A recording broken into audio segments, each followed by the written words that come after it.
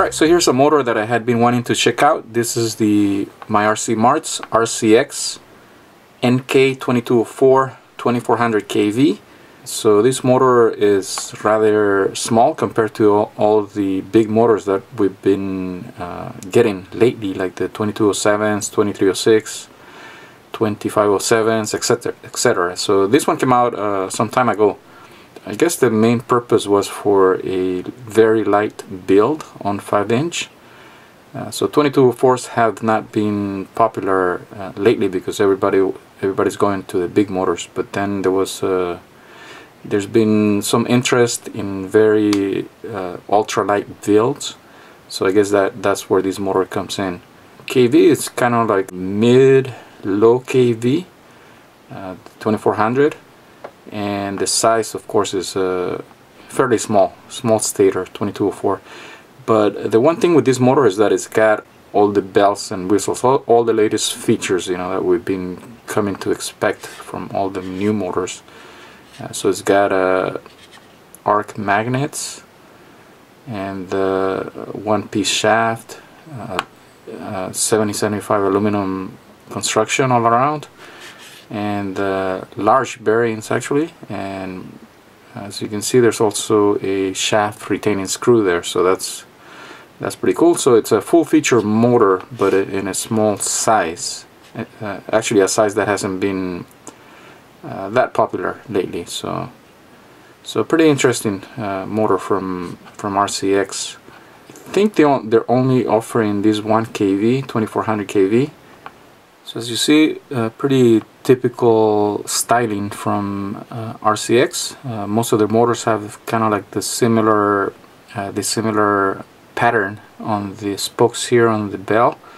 just a minimal four spokes to keep it light, and uh, now they're going uh, this was one of the first ones with the naked bottom actually uh, then later on a few weeks later uh, uh, the 2306 came out and now the 2207s are coming out.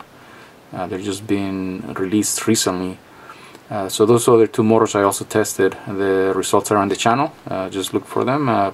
Pretty good performing motors as well. The NK2306 I believe is 2400 or 2500 I forget and the other one is uh, 2700 and similar KVs for the 2207 so those those other motors also perform quite well uh, alright so let's uh, let me take that out. Actually I'm noticing that's the kind of screw that I, I actually like the most. Uh, it's a button head screw. So it's got pretty deep socket and it's a pretty strong screw. So it's gonna be more difficult to round it off you know to mess it up. So those screws are pretty good. Some other motors they use like a, a shallower head. So there's not much uh, material and the they don't they're harder to get out. So this one seems the Loctite they're using is not that bad. It's uh, it, you could feel the Loctite but it's not overly hard. And pretty good size screw so that that's a good screw to use and there's the, brass washer. Yeah that's a fully hollow shaft actually all the way through. So that's that's pretty good. There we go. And I'm also noticing that's one of those nice beefy bearings. That's a 4 by 9 by 4 bearing. So that's good yeah, that's a 9 millimeter bearing so so more than enough bearing for this motor. Should make this motor very durable I think. So once the screws out we can pull the belt out. And these magnets are pretty strong. And let's have a look on their the magnifying glass so we can have a closer look.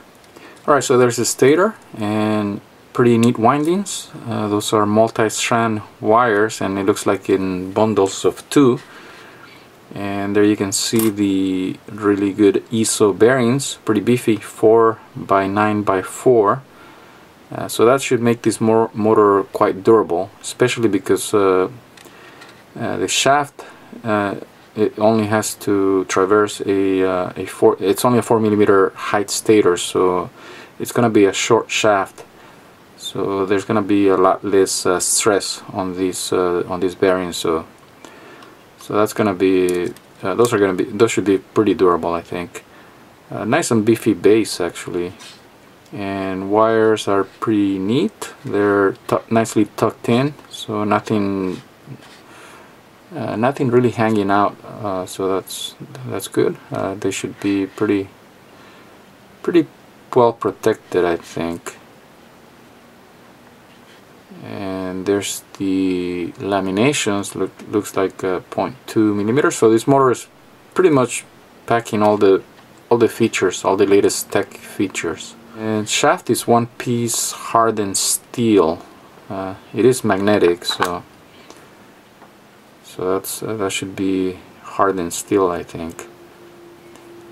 And yeah, there's a nice texture there for the uh, for the prop, so that that's good. 20 millimeter gauge wire uh, for the motor leads. Alright, so let's put this back together and uh, I'll put it on the scale, see how much it weighs.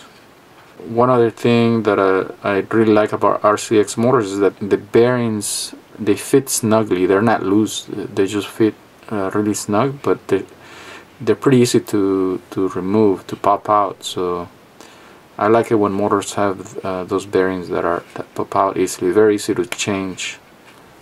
Okay, so let's put uh, this motor back together. I'll put the retaining screw back on and I'll put it on the on the scale, see how much it weighs and then onto the thrust stand.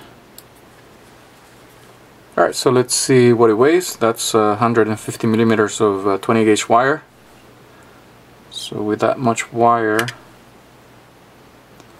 it comes in at 25.4 and so if we cut the wire to about 50 millimeters then we get rid of that much uh, so 2.4 we get, get rid of 2.4 so that's like about 23 grams with uh, 50 millimeters of wire so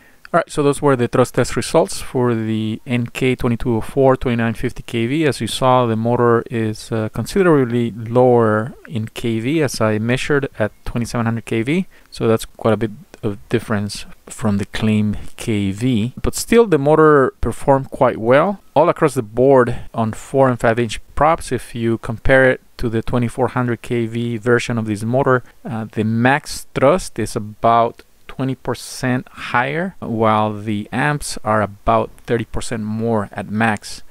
But at the 700 uh, gram mark and that's just an arbitrary number that I, that I picked. The difference in max amp is only about 7% so it's not that much more inefficient so uh, that's not too bad. Uh, only at the max is when you see the, the big difference in amps. So overall a very good motor you can compare these results to the 2400 kV version that I tested a few months ago. So when I tested that motor, I mentioned to uh, RCX that uh, it would be a good idea to make a higher kV version of this motor. As you saw from the teardown, it's a very well built motor, pretty sturdy with a 4 millimeter shaft. And uh, people have been saying that uh, they do like this 2204 motor.